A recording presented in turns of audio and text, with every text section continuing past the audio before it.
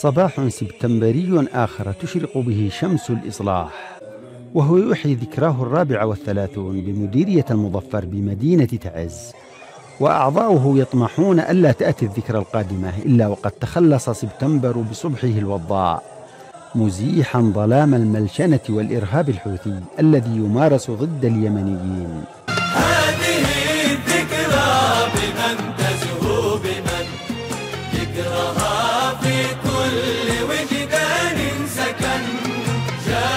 الذكرى وفي عنوانها مولد الإصلاح ميزان اليمن.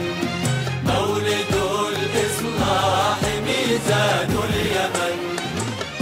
ما زال الإصلاح على نفس النهج الذي بني أسس عليه والدليل تواجد هذه الجماهير الغفيرة والدليل إقامة الأنشطة المختلفة والدليل احتفالاته بأكثر من مناسبة.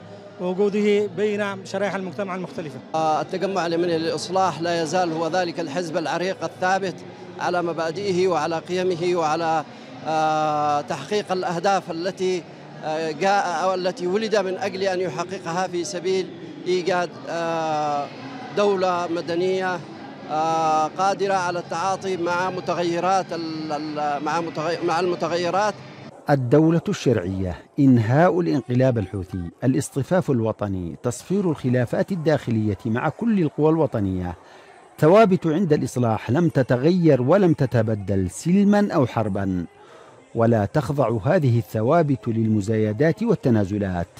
وبسبب هذا الموقف الوطني الواضح قدم الحزب الكثير من التضحيات السياسية ومن أعضائه.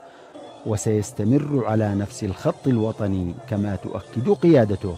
واليوم الإصلاح يقف مع كل القوى الحرة والقوى السياسية والاجتماعية في صف الشرعية في صف مقاومة الانقلاب الحوثي الانقلاب الذي كان نكبة على اليمن واليمنيين في 21 سبتمبر 2014 تجمع اليمني الإصلاح مرتبط مرتبط باسم الجمهورية مرتبط مرتبط باسم الوطن.